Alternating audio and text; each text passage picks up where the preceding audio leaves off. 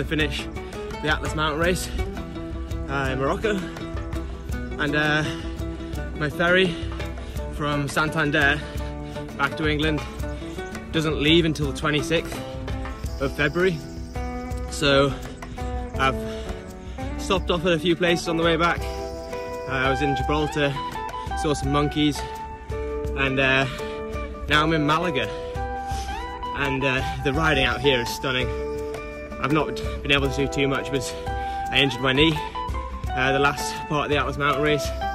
So I've just been taking it easy, but it's the hottest day of while I'm here. So I decided just to go out and just go on an easy spin and uh, try not to do too much damage. But yeah, I'm just gonna do maybe a 60 kilometer loop, not too far, and then uh, get back and spend some time on the beach, and then have some tapas.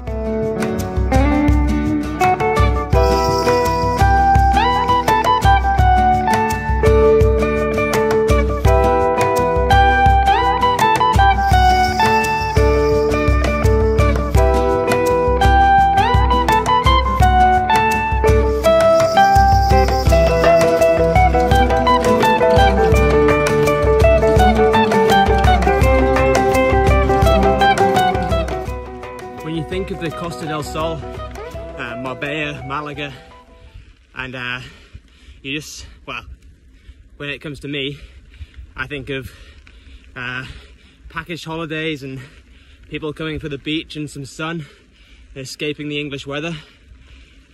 I didn't think it was a cycling paradise. Uh, the trails out here and the roads and the car drivers give you so much space. And it's just sunny. Uh, so nice to ride out here. Uh, it's a shame I can't stay out here a bit longer. Um, but yes, definitely somewhere I'd like to come back to and explore a bit more. Um, something I didn't think, somewhere I didn't think I'd uh, want to come.